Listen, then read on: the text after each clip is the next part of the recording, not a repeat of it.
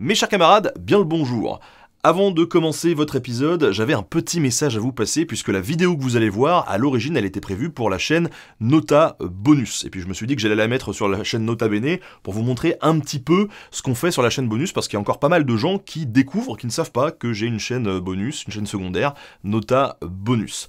Ce genre de format euh, court qui fait entre 5 et 8 minutes, vous en aurez chaque mois sur la chaîne Bonus. Si je les mets là-bas, c'est euh, pas parce que la qualité est moindre, hein, mais c'est parce que je me suis dit que on allait faire d'autres formats sur la chaîne bonus. La chaîne principale, je le réserve vraiment aux vidéos qui font entre 10 minutes et, 40 euh, minutes, les formats traditionnels Nota Bene.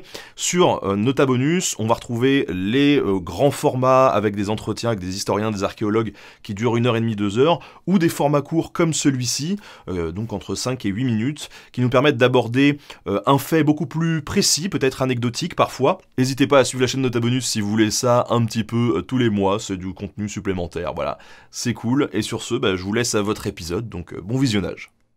Mes chers camarades, bien le bonjour. Aujourd'hui, à l'occasion du festival romain Lugdunum, nous allons un peu parler vêtements. Mais pas n'importe lequel, hein, puisqu'il s'agit rien de moins qu'un des attirails de l'empereur romain lui-même. Au-delà de l'objet, ça sera surtout l'occasion de revenir sur la façon dont le pouvoir est représenté et mis en scène jusque dans la tenue portée par ceux qui gouvernent. Mais tout d'abord, un petit rappel sur ce qu'on appelle communément l'empereur romain, puisque la signification du titre ne fut pas toujours aussi claire qu'actuellement. En effet, l'empereur se présente dans la continuation de la République romaine, et même comme son plus fervent défenseur. Cependant, la différence est réelle, car il cumule de nombreuses fonctions auparavant distinctes, faisant de lui un homme au pouvoir conséquent. Impérator, titre avant décerné après un triomphe militaire, consul, censeur, tribun de la plèbe, primus inter pares au Sénat, pontifex maximus, qui est le titre le plus élevé dans la religion romaine, sans compter qu'il nomme directement toute une partie des fonctions officielles de l'administration, ce qui lui assure théoriquement un grand contrôle sur l'Empire. Toutes ces différentes fonctions impliquent des tenues officielles différentes. Aujourd'hui, on va se concentrer sur la tenue militaire de cérémonie, qui concentre sur elle un nombre assez important de symboles et qui était une des tenues les plus prestigieuses. Évidemment, chaque empereur a eu ses propres tenues, et il serait illusoire de penser qu'elles n'ont pas évolué durant les presque 500 ans qu'a duré l'Empire romain. La tenue sur laquelle nous nous penchons aujourd'hui est celle de l'empereur Septime Sévère, qui a régné à la fin du IIe siècle, telle que reconstituée et portée par Valerio Bello, que vous verrez tout au long de l'épisode et que je remercie pour son aide. Avant de détailler un petit peu plus la tenue, je vais insister sur deux rapides points pour ne pas revenir dessus à chaque fois. Euh, déjà l'importance des symboles et le choix des couleurs. Les symboles tout d'abord sont présents à peu près partout sur la tenue. Représentation mythologique, officielle, hommage à l'histoire romaine, cela permet d'affirmer des valeurs, des références, qui sont à l'époque aisément comprises car toute la société baigne dans une culture fortement religieuse et empreinte de références mythologiques. Particulièrement sur les tenues officielles, y compris celles de l'empereur, la décoration n'est pas laissée au hasard, mais choisie avec soin pour faire passer des messages. Le choix des couleurs répond au même objectif, et deux couleurs vont dominer la tenue aujourd'hui, à savoir la pourpre et le rouge. La pourpre tout d'abord est une couleur rouge violacée, obtenue à l'époque par le broyage de murex, des mollusques ramassés sur les rives de la Méditerranée. Elle est la couleur impériale par excellence, en partie par le coût élevé de la teinture. Seul l'empereur est autorisé à en porter, et elle fait écho à la fois à Jupiter, le roi des dieux, et au sang des immortels de la mythologie. Le rouge est quant à lui la couleur du dieu Mars, le dieu de la guerre, mais également des paysans et du peuple. C'est une couleur qu'on va retrouver souvent sur les uniformes militaires romains, puisque porter cette couleur est vu comme une façon de rendre hommage à Mars, d'implorer sa protection au combat, une sorte de prière passive. Heureusement qu'on ne doit pas se poser autant de questions en s'habillant le matin, parce que moi perso j'en connais qui resteraient en pyjama toute la journée. Hein. Allez, maintenant il est temps de passer à la tenue elle-même, littéralement des pieds à la tête. Les chaussures sont d'un ancien modèle grec ouverte sur le devant. Il s'agit d'un modèle très archaïque qui fut à une époque porté par les classes populaires et qui est par la suite devenu un symbole de tradition et de conservatisme porté lors des cérémonies religieuses ou lors d'événements comme des parades, mais plus dans la vie quotidienne. Chaque chaussure est ornée d'une tête de lion un animal représentant Hercule, ce qui pose l'empereur comme soutenu par la force du héros mythologique. Hercule était de plus très populaire parmi la population romaine. Le fait de reprendre un modèle archaïque fait également de l'empereur un continuateur de l'histoire de Rome, un garant de ses traditions. Sous les chaussures se portent des sortes de chaussettes de tissu pour ne pas que le cuir colle trop à la peau. Parce que ça a beau être un costume officiel, faut quand même que ça reste un peu confort.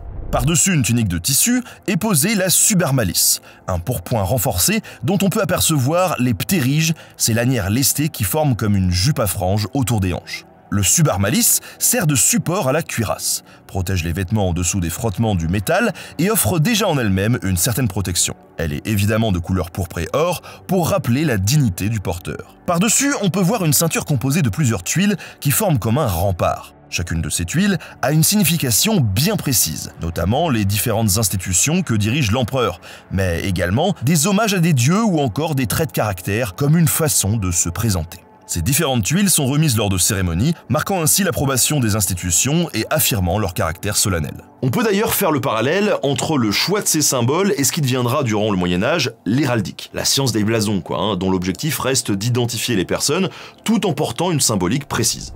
On passe ensuite à la cuirasse, pièce principale de l'armure. Elle est décorée de plusieurs éléments qui sont recouverts d'or et ensuite riftés à l'armure.